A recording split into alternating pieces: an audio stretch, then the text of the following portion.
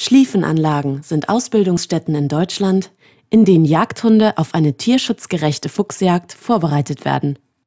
Der Hund soll lernen, sich in einem Fuchsbau zurechtzufinden und den Fuchs zielsicher aufzuspüren, ohne sich selbst zu gefährden. Diese künstliche Schliefanlage ist ein Röhrensystem, wo der Hund mit all diesen Unwägbarkeiten konfrontiert wird.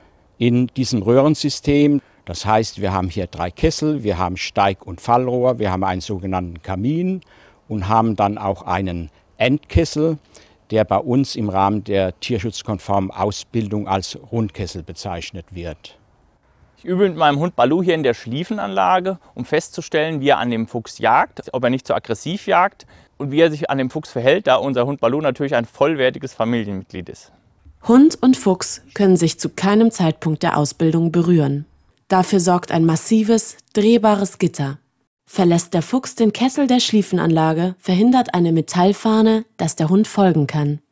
Der Jagdhund soll lediglich lernen, den Fuchs aus seinem Bau zu treiben, ohne ihn zu verletzen, sodass der Jäger den Fuchs dann fachgerecht erlegen kann. Schliefanlagen wurden im Rahmen von Verwaltungsgerichtsverfahren als tierschutzkonform und weitgerecht bestätigt. Ja, mein Name ist Daniel Hoffmann. Ich bin Wildbiologe und beschäftige mich auch schon seit einigen Jahren mit Füchsen und mit ihrer Funktion in unserer Kulturlandschaft. Wir haben ein gutes Potenzial an Betreuern, die sowohl die Füchse als auch die Anlagen regelmäßig begutachten. Die Füchse, die in der Schliefenanlage eingesetzt werden, sind Handaufzuchten und somit an den Umgang mit Menschen gewöhnt.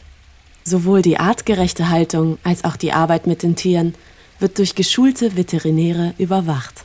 Füchse gehören natürlich hier zu uns in unsere Landschaft hinein, aber wir haben durch die Veränderungen, die der Mensch herbeigeführt hat, die Füchse in eine ganz andere Dichte äh, hineingeführt, die es in einer Naturlandschaft in der Form nicht gibt. Dann haben wir äh, aber auch Ende der 80er, Anfang der 90er Jahre sehr erfolgreich gegen die Tollwut geimpft. Infolge dieser Impfungen sind die Fuchsbestände in Mitteleuropa um das drei- bis zehnfache angestiegen. Dazu äh, gibt es auch verschiedene Untersuchungen, die das belegen können. Um die natürliche Artenvielfalt in Deutschland zu sichern und bedrohte Tierarten wie Großtrappen, Rebhühner oder Kiebitze vor dem Aussterben zu bewahren, müssen nicht nur deren Lebensräume verbessert werden, sondern gleichzeitig auch anpassungsfähige räuberische Arten wie der Fuchs reduziert werden. Beispielsweise durch die Baujagd kann dies auf eine tierschutzgerechte Art gewährleistet werden. Grausame Videos aus Osteuropa, die zeigen, wie Hunde sich in Dachsen oder Füchsen verbeißen, haben nichts mit der Hundeausbildung in Deutschland gemein.